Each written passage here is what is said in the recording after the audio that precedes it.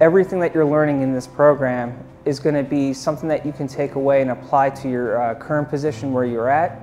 elevate you to the next level, or allow you the uh, skills to be able to start something new.